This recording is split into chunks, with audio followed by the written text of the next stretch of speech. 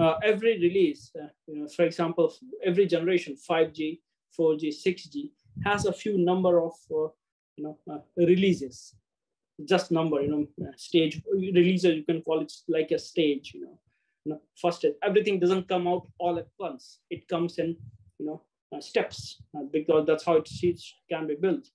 So first step, second step. So releases essentially means steps. For example, the 5G started from release 15 and it's still going on. It will go up to most likely release 19. So releases 3GPP specification, release versions from release 15, 16, 17, 18, 19 would be called 5G release. And from until release 14, maybe I think it started 9 to 14 was uh, 4G, uh, and then 5G until release 19, uh, from 15 to 19, and then the 6G would start possibly in release 20. Right now, what's ongoing is release 18. The specifications are being built. But I will emphasize more on release 16 because release 16 is very important for positioning point of view. What happened was the way it works is release 15, the basics 5G, 5G elements were standardized. 5G communication was standardized. And then once basic building blocks of 5G were done, and then in next release positioning work on that started. That's how it works. First release is mostly for more fundamental specs is built, and then add-on features are built later. So release 15 positioning, 5G uh, began, and from release 16 positioning began. Okay, I'll continue now. This is the timeline of various releases. You see, I have described here uh, better. So uh, 5G started, 5G uh, started in release 15 and then release 16 positioning framework with NRA, essentially new radio, which is uh, the key radio, the main radio for uh, 5G. Release 17, 18, and 19 will start most likely uh, next year, and we'll go on further. It, so all positioning started from uh, release 9 in LTE. Uh, essentially, this was 3G, 4G, and then uh, and initially it was very uh, rudimentary positioning, I would say. And whenever a positioning release begins, the work on specifying, standardizing positioning begins, it all begins with meeting certain requirement. And the requirement is connected to the use case. For example, now if you want to say standardized positioning or specify positioning for automotive cars on the road use case, you know, what kind of accuracy you would like to have for positioning those cars maybe decimeter. You know, that those these numbers comes or these constraints come from the requirement. You know, on road, you would not you cannot tolerate maybe more than a decimeter. So one you in every release, certain use cases are picked up, and then uh, requirements are decided, discussed, and you come up with a requirement. Then you standardize various procedures, signals, etc., so that to meet those requirements. So in release nine, when it started first, the requirement then, and until many of these releases, until release, I would say release 13 or 14, the main requirement was the regulatory. For example, if someone in US makes a 911 call, then the requirement was that the user should be located with 50 meters of accuracy.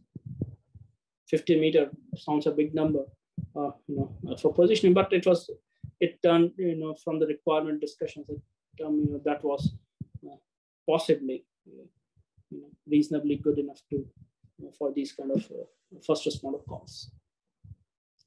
So initially for many releases, the main requirement 50 meter, but now in release, and that was also because uh, the LTE radio, uh, they had such signal parameters, which were, it was difficult to get requirements, uh, very good requirements. Then.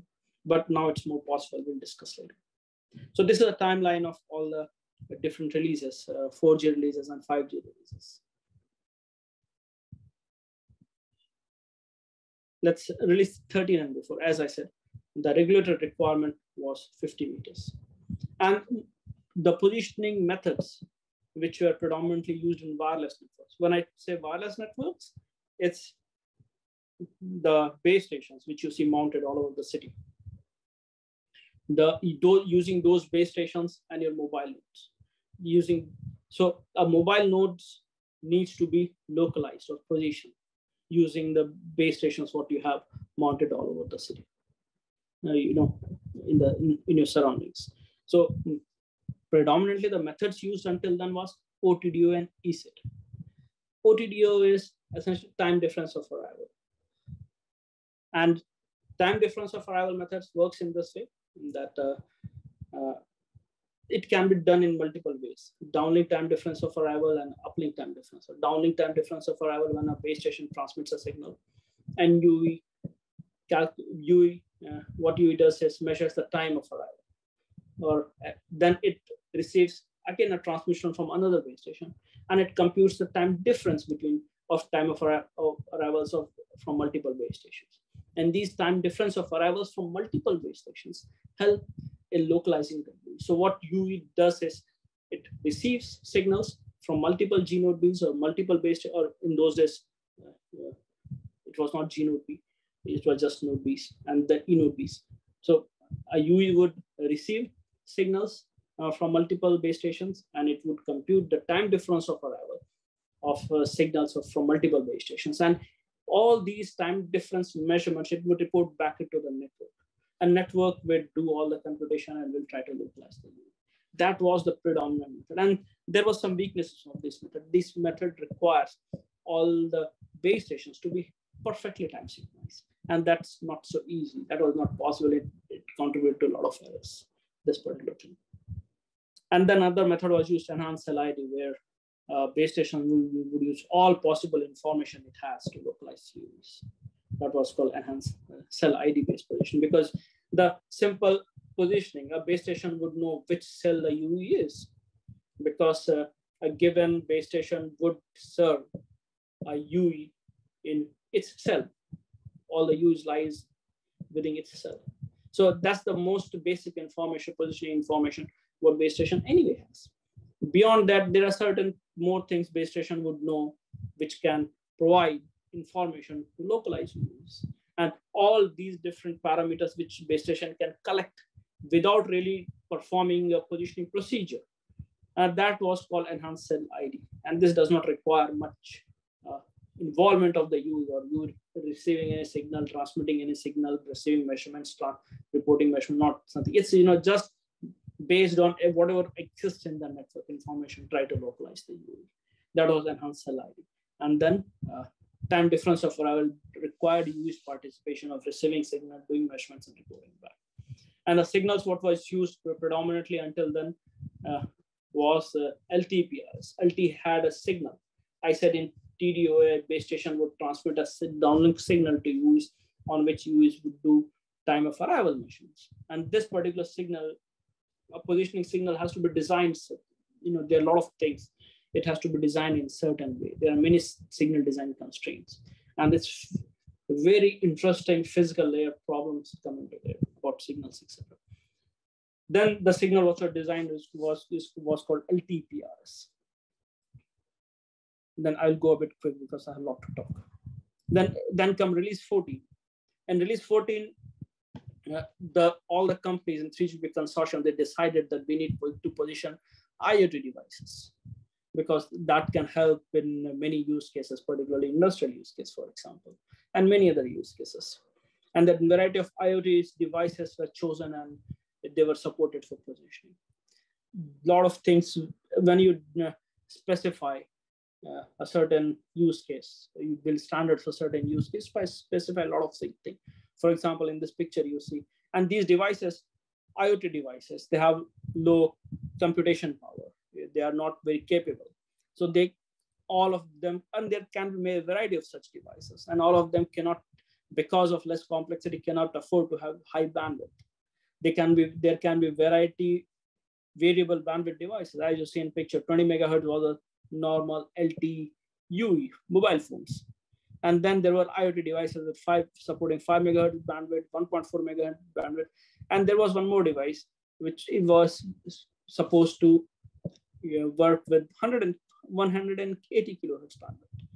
And one way it was thought and standardized even that we uh, that higher band because bandwidth is very important from time of arrival estimation. It's like this: if you on a high bandwidth, uh, or mathematically, I can say that uh, time of arrival accuracy is inversely proportional to the square of the bandwidth, and that's a you know, big uh, dependence. So when the bandwidth increases, time of arrival, the timing measurement, you know how finely you can, you know, detect when a signal has arrived that depends on the time. And if you want centimeter accuracy and even better, possibly, you know, where it, it can go even lower possible in future, then you need very high. Higher the bandwidth, better will be your timing measurements. Essentially, you can resolve the paths coming to you very well. But a low uh, capability device could not afford high bandwidth, so people thought maybe can we, you know, help them by doing transmitting the signals more often repetitive measurements you know maybe they can it can help in compensating the lack of bandwidth. It was a thought then but now uh, recently we do not think it works that way. But then it was standardized based on the analysis and all the discussions then. So lt14 was predominantly uh, uh, standardizing lt uh, iot devices and these are still supported. Because still now there's no replacement for even the 5G has come, but the IoT, low complexity IoT devices are supported using the standard, using what was specified in release 14. There's no, nothing majorly new has come on such devices. And a few more things are, as I said, two paths reporting. In a, uh, what if you want to do measurements in a in a typical wireless scenario, you get signals from multiple directions. There are multiple paths coming to you to a UE. And uh, when you want to measure the timing, uh, ideally you would like to measure the timing of the path which is which comes through line of sight between you and the base station, if it exists, uh, because that gives the perfect uh, distance estimate also. And but it uh, does not happen that way always. That you are not always in line of sight with the base stations. And even if you are line of sight, you, are, you get multiple paths. Often it helps, it improves the performance if the timing measurements of more than one path is reported to the network. You measures more than one timing of more than one path and then reports it to the network. There are many algorithms, many concepts built on that, how you can exploit multi-path, timing of multiple signals, multiple versions of the signal coming to uh, to localize you better. And particularly nowadays with all machine learning and all, uh, this uh, helps even more.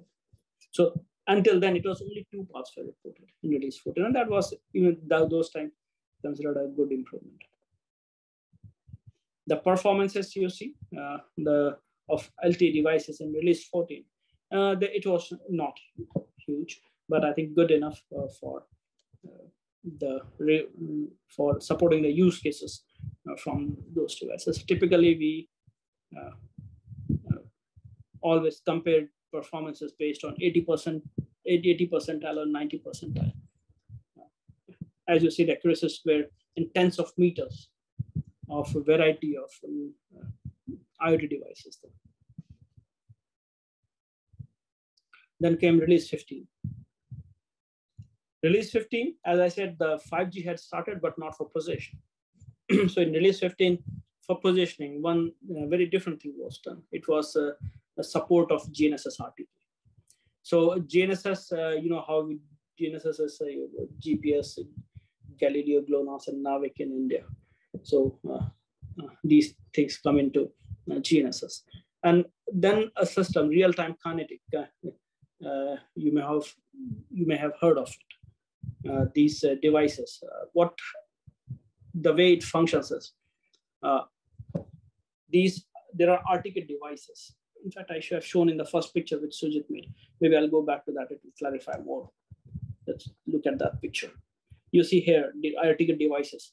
You see PPP RTK devices mounted besides the road, and then you see one or one you know in the foothill you know uh, foothills of this particular mountain. Uh, one more device we have shown it there. So what happens is that cars which are nearby these RTK, RTK uh, stations, uh, they receive uh, the nearly the same signal, particularly the same, nearly the same errors when the signal goes through various layers in the atmosphere. Uh, you know, you know it, it undergoes a lot of errors before reaching the UE on the ground, the signal from the GPS. And GPS is the downlink based positioning where the satellites transmit signal and the receivers in the car, they make the time of arrival measurements. So nearby devices undergo very similar errors. They have very similar error sources. So if you have a fixed mount, fixed device like PPPRTK, what is shown in this picture, and then, and if this device said this is fixed, it can accumulate and it can take time and calculate those errors very accurately. And then if there is a device in vicinity of it, it can just uh, communicate those errors to those devices. Those, if those devices can use the same error uh, estimates, which this RTK station And thereby it helps in improving the accuracy of GPS, uh, the devices which are, or the cars or anything else which has, uh, which is using GPS supervision. And the support where wireless network comes into picture is mostly in distributing these things. So PPR, PPP devices, uh, stations have made estimate of some sources of error. And then it needs to be communicated to these cars. Uh, or it, it, there are a variety of applications, uh, you know, for example, in civil engineering, etc., in surveying, etc. And this can, the accuracy which comes out of this is extremely good. You know, on road, you can get centimeter level of accuracy. And closer the devices to this RTK station, better will be the accuracy. And of course, it needs line of sight between the cars as well. So where does a wireless network comes into picture? Wireless networks helps to propagate these error uh, sources estimates or parameters to these cars so that their GPS accuracy improves. So this support of wireless network in various forms. There can be, you know, uh, multicast or you know, unicast, uh, variety of uh, different ways of propagations. Uh, sorry, propagate distribution of parameters uh, very standardized. This on a very high level, I'm showing you this picture. I thought very informative. I'm showing this particular thing.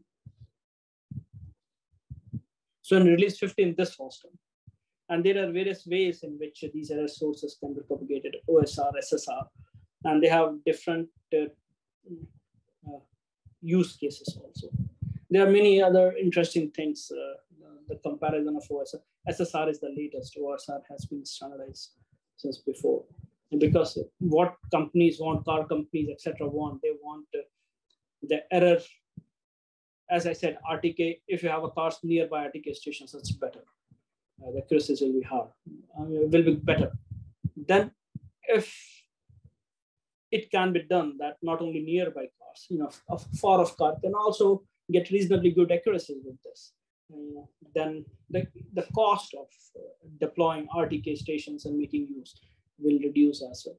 So now efforts are on that level where people want to increase the uh, geographical coverage of these RTK stations. And there are a lot of algorithmic or you know more uh, uh, mm, you know fundamental concepts. Those things are also um, evolving to uh, support those kind of possibilities and OSR, you know, for example, building up SSR in, are in those lines.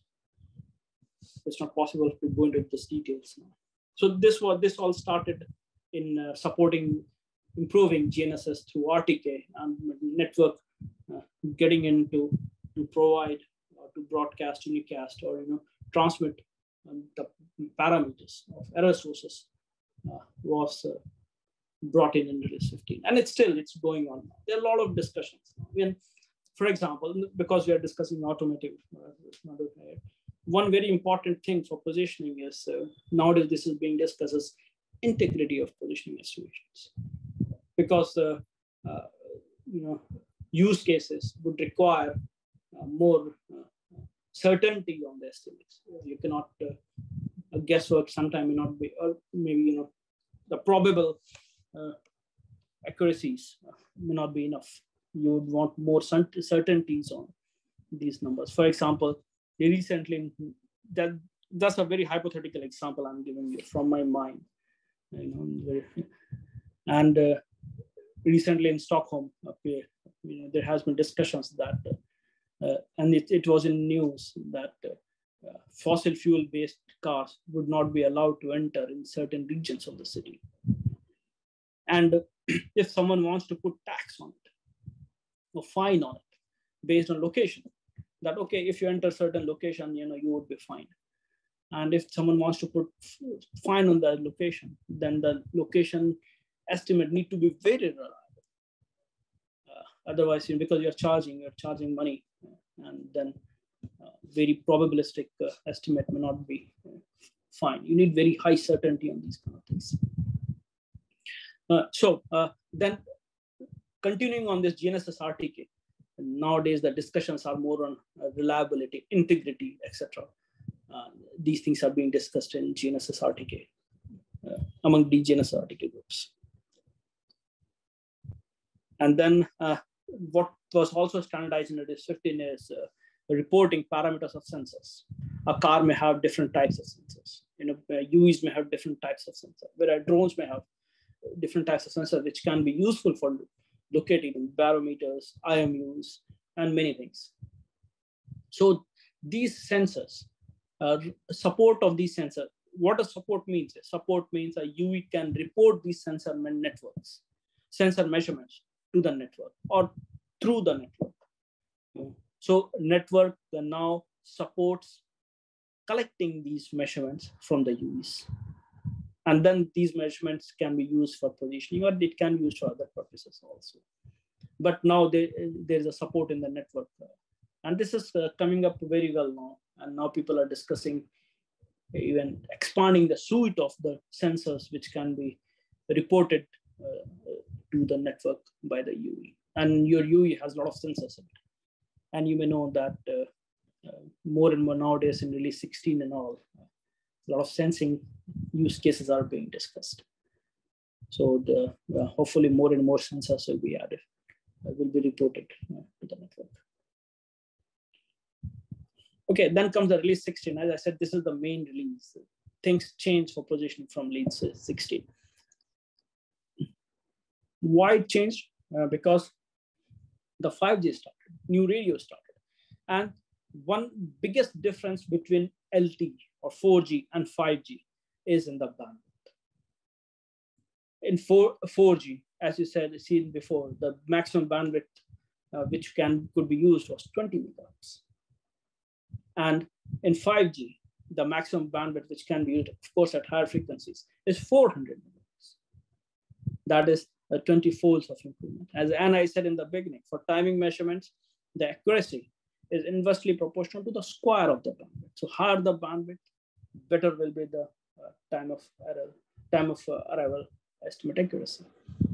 So that's the reason why when 5G, before 5G, as I said, then 4G, people were talking of 50 meters, regulated requirement. Now there are discussion. And then with 5G, a lot of things started which were very good for positioning multi-antenna. You could get very you can get very good angle of arrival estimates, for example. So angle, timing, these measurements, parameters improved drastically from 4G to 5G. And this was a big boon for positioning. So when people were, before the people were starting off locating with accuracies of tens of meters, now, you know, uh, sometime a decimeter sounds uh, too, uh, too much big for many, many uh, use cases. So let's see for how it changed now the requirements which was considered for the first time in release 16. Uh, regulatory still 50 meters because that's decided by FCC and that's more a government requirement that stays as it is. 50 meter still till now the regulatory if you make a 911 call in US, this is the accuracy with which user of making the call should be located 50 meters. Commercial then came with the commercial use cases with the uh, release 16 horizontal accuracy. I will just look at horizontal accuracy here uh, horizontal accuracy for indoor deployment is three meters. And the horizontal accuracy for outdoor deployment is 10 meters. This is the improvement from 50 meter with the, uh, you know, and the, the, I would say they were quite loose and people, uh, companies ended up showing much better accuracies than initially the requirements. Uh, they started to build the specification. So release 16 positioning, before that I said predominantly TDOA and ECID, and then a lot of variety of measurements start measurements started coming in. Uplink TDOA, downlink TDOA, multi-RTT. So there was no multi-RTT in, uh, uh, in LTE. The multi-RTT was introduced. Round trip time. So UE does round trip time with the base station, with multiples of base station. And then you, they can look like so triangulation, some popularly it is known sometimes. Angle of arrival became possible, as I said, in 5, 5G because of multi-antenna. ECID was improved. And then variety of measurements are also supported. So overall, there was a big drastic change for positioning from 4G to 5G, just because increase in bandwidth and multiple antennas, better timing measurements and better angular measurements. So before uh, 5G, even the positioning was not uh, uh, discussed much. And but after 5G, positioning is uh, one of the most important features of the network. And the 5G positioning architecture, as I said, when you standardize a particular feature, there are a variety of levels of standardization. In my team, I was a team lead, and we had people from physical layer, layer two, architecture layer three, layer four, four you know, we have, we call it RAN four. Uh, so multiple groups, uh, working groups, and uh, they specify multiple things. You you know uh, you need to standardize architectures and then you go down to measurements and signals. A lot of it. So this was the architecture positioning architecture which was standardized in, for 5g and this is uh, you know most of this holds as of now as well. I will not go into much details here uh, but okay the way it works is the most central part of the architecture where all this location calculation etc location a lot of things location calculation and then configuring configuring the signals for measurement, etc. All these done in LMF, location management function. So LMF is the entity where the and then on the network side. On the network side, as I said, the UE reports all the measurements to the network. Network, how does UE report? A UE would essentially is connected only to the base station. You transmit to the base station, then LMF is a kind of server where all these measurements are uh, transmitted to and the LMF does all the uh, positioning calculation and it does a lot of other uh, protocol stuff as well.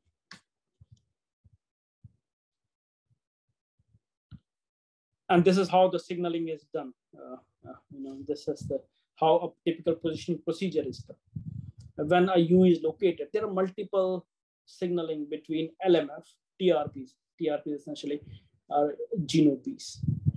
Uh, the network knows what you see and the U is your phone. So this is the procedure, how a particular positioning, uh, uh, you know, up positioning procedure is done. You know, when it starts with someone requesting a position, then the request can, can come from many network itself may want to localize UEs or the request come, may come from the UE sites on third party, many places. And then this process, process is uh, undergone depending on methods, etc. So this is a very general picture I have drawn. And someone interested in knowing the details, how things go, you know, on between different uh, nodes. So this picture would be helpful. And the proceed, the new things were in, introduced in release 16, as I said, for multi-RTT angle of arrival and downlink angle of departure based positioning. As I said, uh, one big thing which was done because the signal bandwidth got high was designing a new positioning reference signal. Before in LTE, one of the previous slides I so showed that it was LTPR as a positioning reference signal was designed. But in NR, a new positioning reference signal was designed. Uh, so this is how you see, this is an OFDM slot. And uh, you see there are multiple, um, y-axis is frequency, uh, x-axis is time. And you see each column is called a symbol. And each square, each tiny square is called resource. And this is how different uh, TR different base station multiplex in a slot. This is one example, just one example. And one particular type of, one particular configuration of downlink positioning reference signal. This is how all these G node based multiplex on the, on the resource element level. I have shown three particular uh, G-node Bs. They transmit uh, in particular resource in specific time on specific frequencies to accomplish this slot received at the U. And designing this signal is required, and I was the team lead of my team that required a lot of work, a lot of analysis, physical layer, basically. It's all physical layer analysis. Many things you have to avoid, or whatever can help in improving the positioning performance uh, on a signal level, on a physical level was considered here. And I will not go into much detail on this uh, uh because it, I can go on for hour and hour on this. Uh, yeah, but uh, if you want, uh, we can discuss it later. So this was the downlink, downlink positioning reference signal uh, was designed. And then uh, there are new concept of resource and resources because with 5G you have beams, multi-antenna, and hence the beams comes into picture. And every beam, you, angle of arrival estimate improve with that. The concept of resource and resource sets was very brought in. Uh, but one beam is a resource and multiple beams here as you see can be called a resource set. And a beam can, every symbol can be an individual beam. So you can consider in that way also. Yes, so these things added, uh, uh, you know, this picture I've drawn uh, showing you know, various parameters, etc. So the message from this picture is that in 5G, more angle-based measurements are also possible. New definitions are brought in for resource and resource set, etc. I will not again go into much details here. Suppose uh, repetition and muting, etc. These things, you know, if you, for example, if you want to improve the measurements uh, or positioning estimate of a U, what you can do, you can just keep on repeating the measurements. You collect more and more and more measurements, you know, by simple signal processing. You know, as long as noise still remains uncorrelated, you can improve, keep on improving your positioning. Uh, you know, keep on improving the estimates by doing more averaging. So uh, multiple signals were transmitted. And then there was concept of muting also to, to avoid interference in the US for when a, um, among G-node Bs. When a G-node B talks, other G-node Bs keep, keep quiet and those things more. Uh, this is more about if someone wants to understand how this network uh, you know, works for positioning then these things need to be understood in detail. I will not go into this. This is a you know more of the configuring the signaling of the multiple base station, The concept of frequency layers, etc. What we discussed previously was the downlink signal, and then you have uplink signal. UE also transmits SRS call, uh, SRS positioning. That was standardized in the late 60s uh, for locating. There are a lot of signaling design and those aspects in here. Methods, money methods uh, standard. You see, uh, this is how TDOA works, uplink or downlink TDOA. You see one UE and multiple base stations. And like I said before, what UE does is collect time difference of arrival measurements from these, from base station tuples, from base station pairs, and then transmits it to the network. And what it gives it, uh, these time difference of arrival measurements, they provide hyperbolic constraints on the use trajectory. So for ev with every time difference of arrival measurement, you can construct a you can construct a hyperbola between those GOVs. Uh, for example, you see uh, this particular, what is this? Uh, sorry, I'm bad. So let's see, these are the blue RSTD12 I have shown. So this is a hyperbola constructed from a time difference error measurement between G node B1 and G node B2 that passes through the location of the UE. So if you have multiple hyperbolas, and the intersection of these hyperbolas will provide you a unique UE location.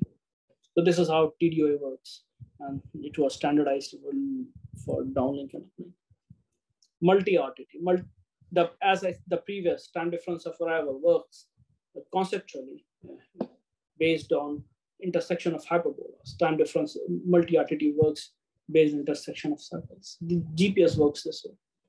You just have one-to-one, the distance measurement multiple with the multiple base stations. It's not really the time difference measurement. and you get multiple circles, and the intersection of these circles provide you uh, the location, U location. And this procedure called multi-RTT because you need to do a round trip time with multiple base stations to get multi multiple circles. So this was also standardized for the first time, how it would work actually in the network. Because one thing, it's not easy to specify standardize these things because the, these positioning has to coexist with the primary work of the network, that is communication. You know, so how to fit in uh, positioning with the ongoing communication uh, features and many other features also. These are these are big challenges. Uh, so you find ways to make these things work and then those are specified or standardized. Multi-RTT angle-based methods I've discussed before. And as releases will go on 5G, 6G, as the frequencies will increase, number of antennas will, will increase, angle-based methods will become more and more stronger.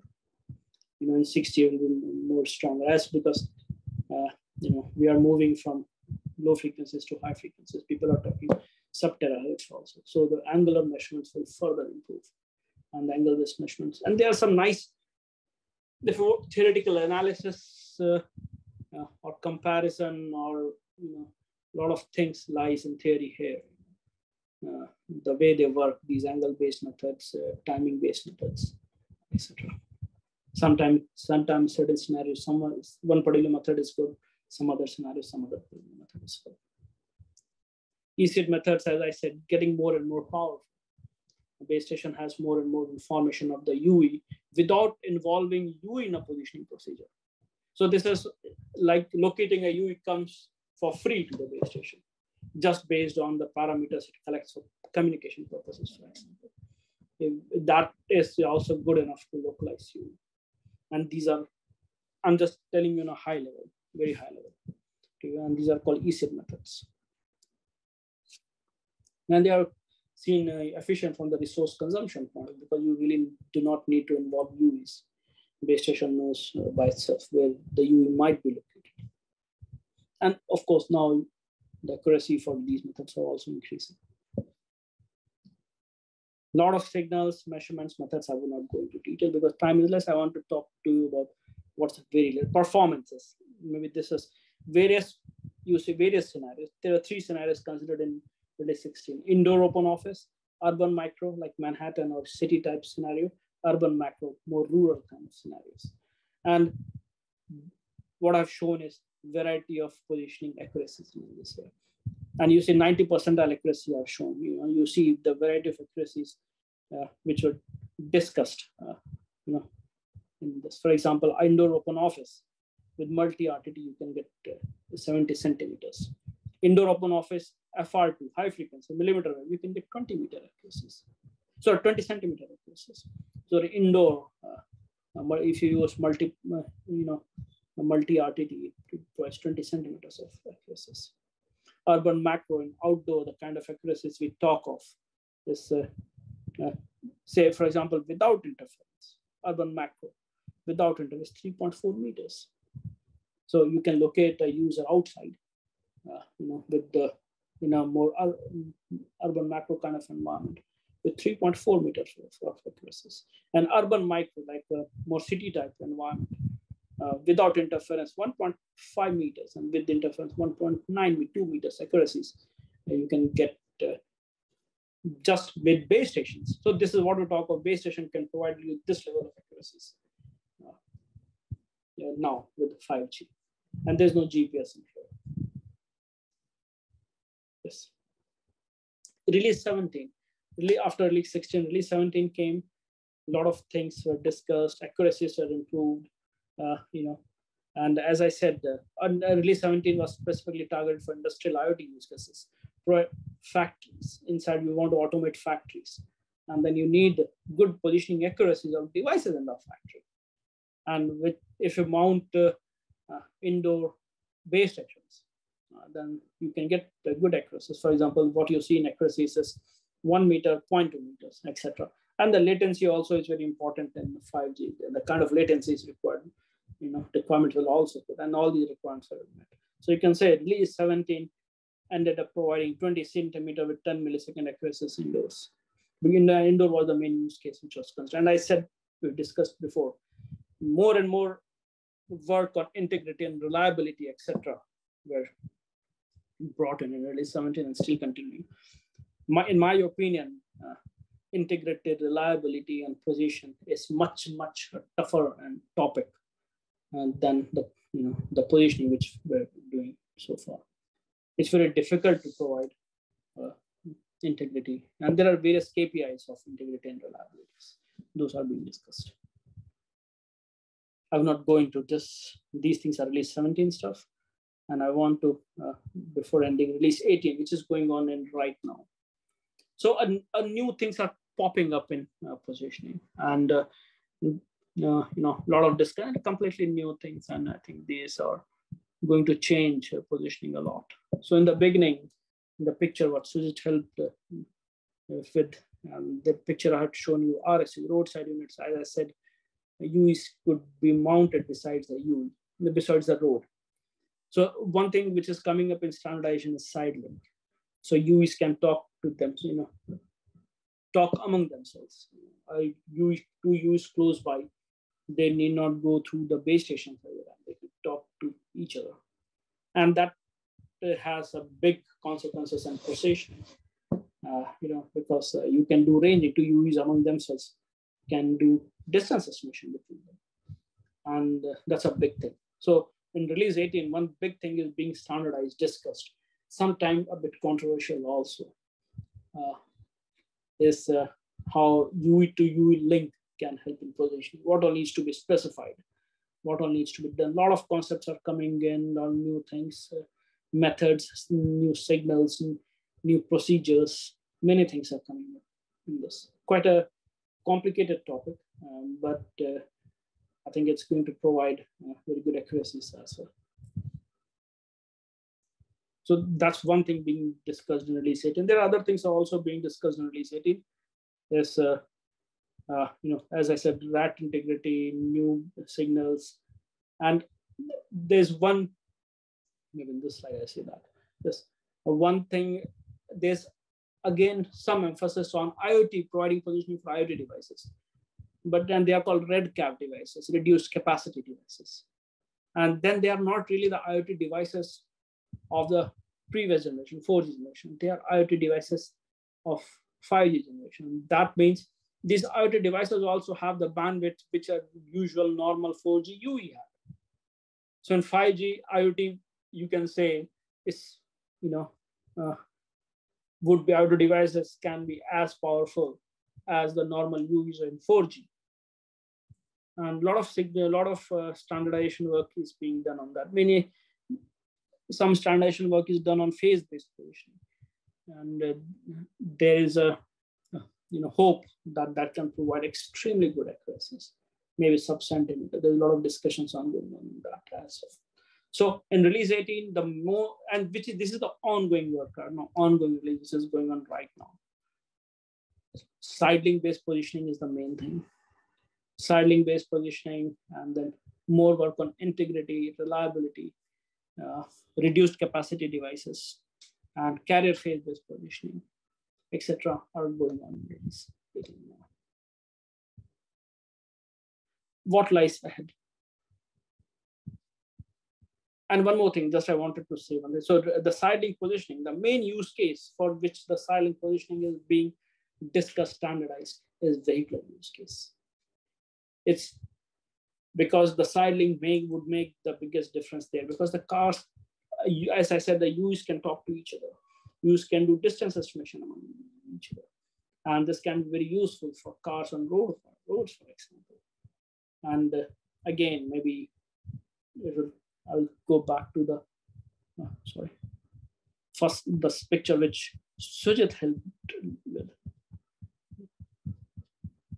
that is, uh, sorry, I had to scroll many slides, but here, I would, this is maybe worth scrolling these slides. So you see that these cars are on the road. Uh, they can talk to each other. This is a link I showed PC5.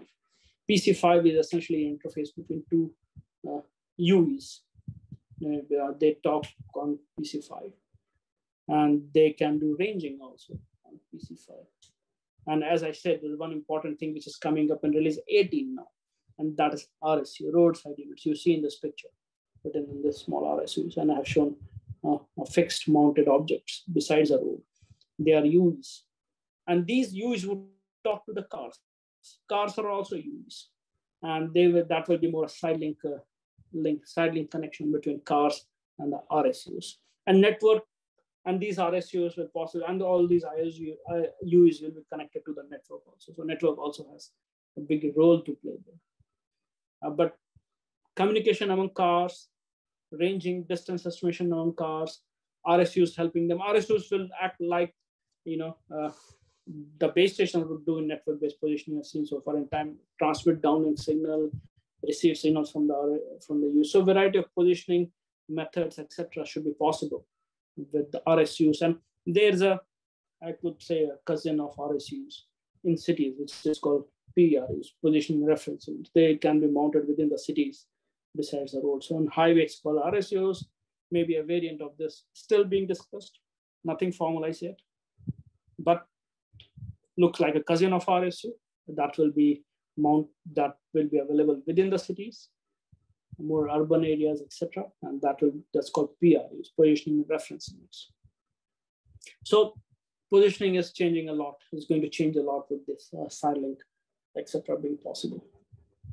Okay, now again, I need to scroll many slides now. We go back to where I was.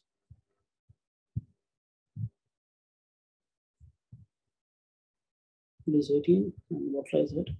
Yes. So uh, that was uh, release 18 with RSU, Sidelink, etc. So what lies ahead? So release 19 will start next year, and then 6G will start what's being discussed now in, for release 19 and 6G. Uh, you know, what I hear from all the places, even academia, is uh, this concept of joint communication, JCAS, sometimes abbreviated as. And JCAS is uh, uh, the 90% of use cases, what I have seen, is mostly about location estimation. Radar, radar, your mobile radar is going to uh, come up in you know in mobiles and base stations, etc. And what do you use radar for? Finding objects, location estimation, but more a passive location estimation it will be. So what I see as of now, um, the most or you know biggest set of use cases, which is being discussed in JCAS in 6G, is essentially also location estimation, but may not be. Uh, you would like to uh, locate a passive object, which is not participating in position, but based on the reflected signals, etc. Uh, so that's the JCAS is going to come in. And yeah, I think it's as of now, it looks more like an extension of positioning itself. And then many new things are coming up. Uh, drones, big thing. Uh, you would like to know location of drones more than you would like to use location for use drones for estimating locations, etc there are use cases for public safety, uh, which is also being discussed now. There's public safety, uh, building catches fire. Uh, you know, how you would like to locate localize first responders inside the buildings. Because many times these first responders, they, or most of the, what, I, what I've read in literature, that many first responder deaths are because in smoky environment, they are not able to localize where they are. Sometimes these first responders are next to the exit, but they cannot find the exit and you know and do not survive uh, because they do not know where they are. So it's very important that, uh, or for other people also, not not be first responder. So it's a, that's one example of first of the public safety scenario. So the positioning is very important in public safety application also, and drones can help a lot.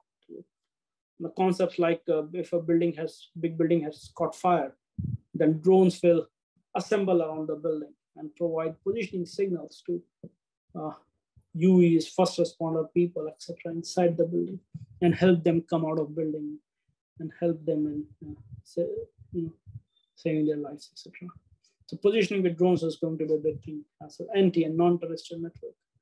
This is also a big discussion now. They are uh, low orbit satellites. they would participate in positioning maybe they will augment the GPS and this is but this discussion is at very high level right now just very uh, we fewer discussions. But i think it's going to come as well. And then uh, there, there are a lot of uh, discussions are i think it's still very open uh, what all kind of things may come in release 19 and 6G and it is being discussed right now. Thank you so much for the Uh, very fascinating talk very informative and uh, uh, it was, uh, of course, beyond our imagination that there is so much uh, to talk about in positioning. Uh, and uh, yeah, I, I, feel like more informed today. there are a couple of questions from Roland. Maybe I can I can read yeah, it. Exactly. So, Roland, would you like to read them out?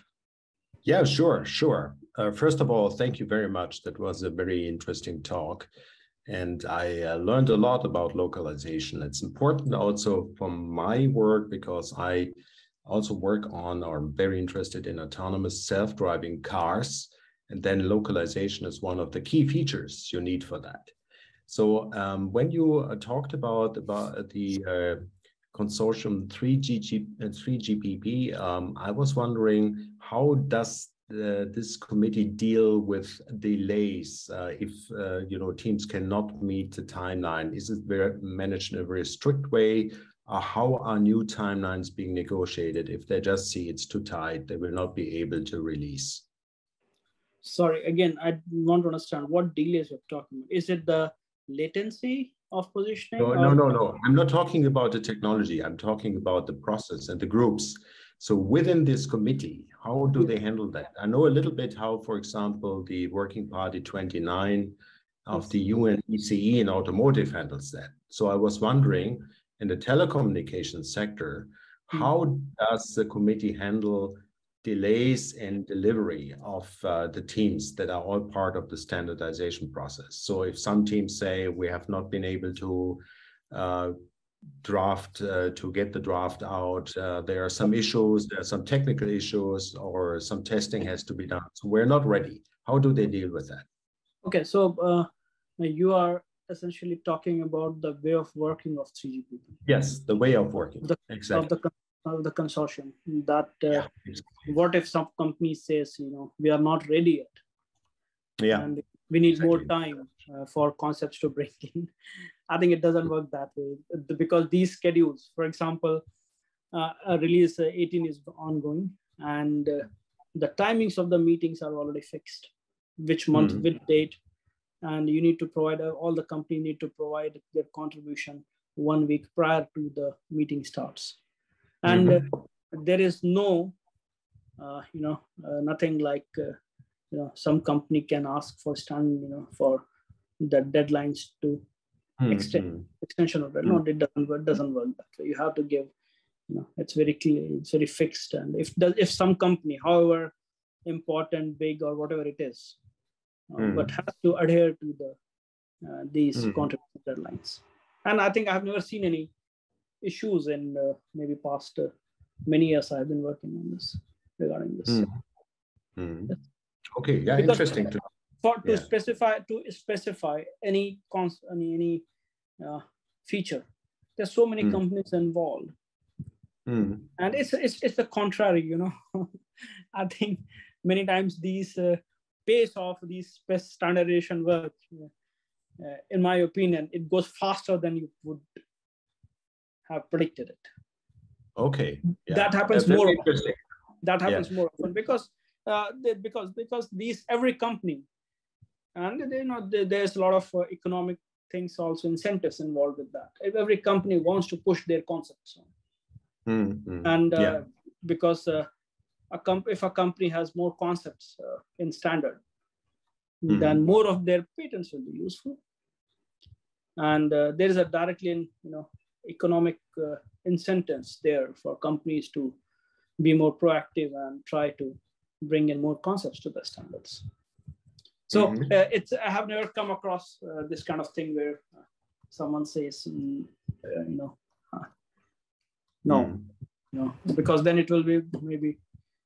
Uh, okay, maybe I cannot. Uh, yeah, but, but thank you. Very interesting insight into the working yes. of the, the committee. Yes. The yes. second question I have is on cybersecurity.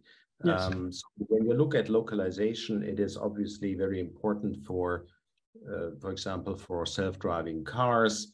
And mm. there's a concern about the cybersecurity of the mechanisms of any geo-information being delivered. Mm. Um, could you comment on that? Just you know, a broad uh, perspective on um, the cybersecurity topic of that. I think uh, uh, you know, I can say that I'm not an expert on this. I know because uh, uh, what we have discussed in today's talk is a RAN standardization. Mm-hmm. Is, is essentially radio access network standardization.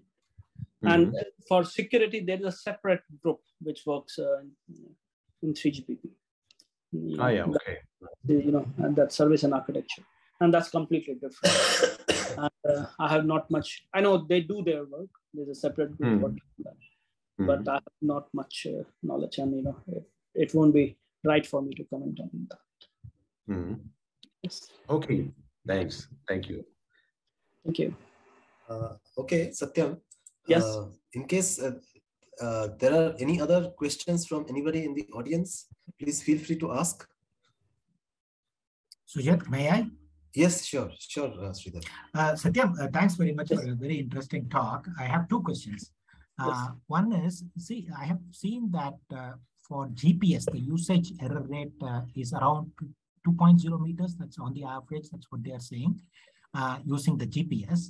Uh, now you have uh, said that the accuracy in location yes. positioning using 3GPP networks can be between two and three meters. And in fact, it is less than one or roughly 1.5 within in, in indoor.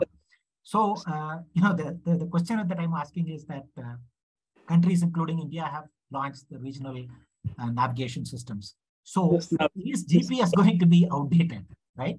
I mean, the, the, global positioning system using satellites satellites are going to be outdated because of 3GPP, uh, mm. you know, um, accurate location. That is the first question.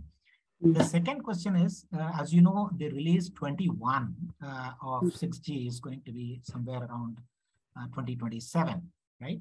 And uh, molecular communication, uh, including biosensors, are expected to take part as a major way in this. Now, okay.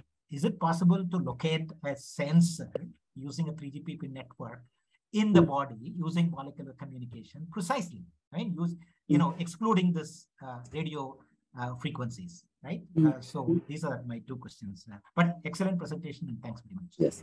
So the first question, would the GNSS in general uh, uh, be out? Will it be outdated ever? So I think as of now, I don't foresee that. I know having working in positioning for past uh, one and a half decades now. And uh, the thing is, often what I see rather is augmenting GNSS with 3GPP.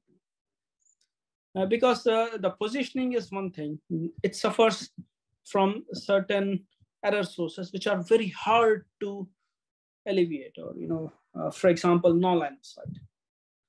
You know base station still needs line of sight. And ideally what would be the solution of that that you provide you, you know deploy a very large number of base stations everywhere so that no region is no line of sight. Everyone in every line of every region you have at least a few base stations line of sight but that can be expensive not very practical uh, so there is, a, you know, you cannot cover the complete Earth also. Network is not available everywhere. You know, uh, deep sea, many other places, and network is not available. And uh, then, so yeah, these are the things. And of course, GNSS is a, a very low cost solution and, uh, you know, present everywhere. You know, already it has reached, you know, that's the best example of positioning, the GNSS, GPS. And everyone is now hooked to it. You know, people cannot survive without GPS nowadays. It has shown to be so useful. So I do not think it will go away. And that's a different, if you see, it's a, uh, these two as a technology wise, they are more complementary, not competitive. You know, uh, providing signals from high up in the satellite, you know, has different, uh, even if you write mathematical equations, you know, it's very different. Uh, when, when you provide signals you know, from terrestrial base stations. You cannot say that you can substitute that with that. No, no, no. So I do not see that will, uh, you know, uh, these uh, uh, will be complete. Of course, in indoor, yes, indoor GNSS do not penetrate it. And there, these base station based positioning has, you know, very high value. And the second question, you're on molecular communication and uh, sensing, uh, getting into 6G and the network, the, the role network can play there. You know, essentially, you are asking, can you do indoor body sensing with the radio waves transmitted from the G-node Bs, for example? Know, that's very, I think, uh, good thought. Uh, maybe you know people at people at Ericsson would like it to do that. Uh, you know, uh, and but I, I also work in, you know, my 50% work is in propagation. I'm a propagation scientist, so basic electromagnetic propagation, etc. So I do believe uh, that. Uh, so it's like this. One more other way of putting it is that mostly need drives the innovation, and need drives the you know what comes. So far, it has been communication you know, that okay let's try to have more and more communication but i see radio has so much of hidden potential uh, you know which has not been explored because there has not been so much of need of it you know once the need comes people do start feeling that they would they do need it i think those you know in my opinion possible potential of radio waves i think can definitely be explored and if those things come up and then they would come in standards. Thank you. Thank you. Yes. Okay, Satyam, I have one question. Uh, yes. Similar to a, a, way of working kind of question. Yes. So how, how does the uh, standardization committee decide the scope of a particular standard? Because uh, two, three things that you mentioned, for example, industrial IoT and vehicular mm positioning, uh, to a layman like me, they appear very different applications. Yes. How do they decide that we should uh, focus on such and such things? Yes. So uh, there are various ways of looking at it. Uh, so that uh, you know, there are signals or influences come from several directions, even from academia. I would say, what's hot in academic academic research, for example you write or writing many papers because researchers like me and most of us, you know, do have academic connections. We do read papers. We do know what's latest, what's coming up. That also influences a lot. That's one thing. Second thing is, of course, market. What kind of products should come in? And you we want to build standards for that. That also comes in. And then uh, the way it happens is, you know, at high level. There are various levels at which these discussions are done. If uh, for before a release starts uh, with certain use case, it, it, takes a few years of discussions uh, to come to that level in different groups. It all started it starts very loosely. Okay, let's start uh, the, you know at some groups in 3GPP. You know they are called, for example, SA1 group. Their work itself is to discuss use case and requirements, what can possibly be done. For example, now the JCAS work is being done in that level on JK, you know, on the use case discussion. If you look at those contributions, which is done now, because JCAS would come for RAN standardization, radio standardization possibly next year or the year after. So before that, what's going on is just brainstorming of the use case and what can be done, etc. So all companies bring in those kind of ideas. And and these discussions, these ideas are, are very high level. Sometimes to me, it looks like many of those things are fairy tale or, you know, uh, some science, science fiction. If you read those contributions, and it's sometimes very fantastic to read those things. It's like bring in whatever you can kind of discussion sometimes. And then different companies bring in those fantastic ideas, many motivating use. Oh, it can be used this way, it can be used this way, that kind of thing. And then there's a brainstorming. And it involves, Sujit, maybe, you know, thousands of researchers worldwide in different companies in industrial research. And even in nowadays in academia also. Uh, for example, in India, this uh, I know a few IITs are involved in those. Uh, uh, discussions. They do participate in 3GPP meetings as well. So uh, these uh, at that high level discussions, you, and see, ultimately, our standard has to evolve because as standard coming out on standard is benefits everyone who, whoever is participating. So, however, people can argue, you know, not agree to each other, but finally, finally, everyone knows that they have to come up with something for everyone to be benefited from. Otherwise, things won't work, and then no one, you know, has any gains from it. Right. So that's how it is. It's a lot of brainstorming. Starts at very high level. People bring in and then you know the chairs of these brainstorming session they start to you know include exclude things and then this is how it uh, slowly converges. Hope i make you understand made you understand a bit. Yes yes, uh, yes but it's a face it's a fascinating big machine. A lot of researchers brainstorming and uh, not in the meetings. There's a, these research groups are back offices. A lot of researchers in the back of the providing input from there to the people who are attending these meetings. But overall, I think finally, it's still based on the consensus, right. even though the group is large. Yes. Okay. So, uh, Satyam, I would like to thank you once again for coming over and presenting your talk to us.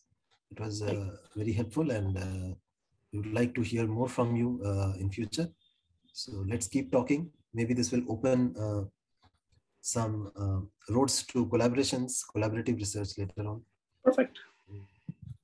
Uh, I would definitely be uh, very optimistic about that.